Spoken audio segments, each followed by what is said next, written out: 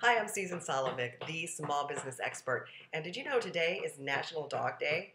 Well, you might be wondering why me, the small business expert, is talking about dogs and small business. Well, quite honestly, if you really want to ramp up your revenues, you might just want to think about taking your business to the dogs. That's right. If you want to be one of those wildly successful members of the 1% club, then allowing your furry friends to come to work with you might just be a good answer for you. You know, there's actually research that shows that having dogs in the workplace increases productivity, it reduces stress, and it also enhances employee morale. So it could be a real increase and boost in your small business. But here are a couple of things that you need to think about. First of all, you want to make sure everybody is on board with the idea. You might have some people who work on your team who are afraid of dogs, or maybe they're allergic, so of course that's not going to work out for you. The second thing is you want to make sure that the dogs are well trained if they're coming into your workspace.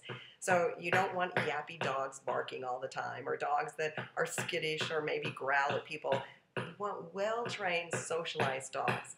And speaking of that, if your workplace has a lot of customer and client traffic, probably not a good idea to have the dogs around because, once again, you don't know who's afraid or who might be allergic. Um, the alternative to that is if you have a certain area in your workplace that you can sort of block off and that's just the appropriate place for the dogs, that could work as well. Then you want to make sure that everybody knows that, you know, dogs will be dogs and sometimes accidents happen. But if it does, you want to have on hand the right cleaning supplies and make sure the offending dog's owner is the one who's cleaning it up. In lots of times, it's a good idea to have a team of sort of policemen and have a rule that maybe three times, three strikes, you're out. Dog doesn't come back.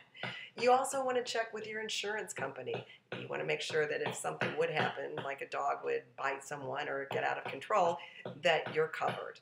And then finally, you want to make sure that your employees understand that, you know, this is a really great perk and not to abuse the policy.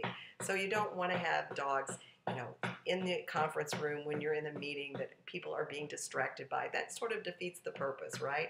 So there you have it. If you want to ramp up your employment brand, if you want to give your employees a real cool perk, and you want to increase your productivity, which of course increases your profitability, then you may want to just let your business go to the dogs.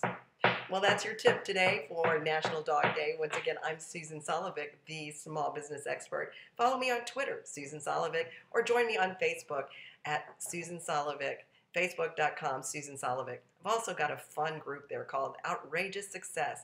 Join us because we're all about helping you succeed. We'll see you next time.